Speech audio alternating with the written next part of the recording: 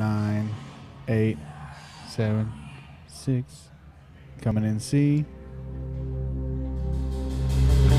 Beautiful.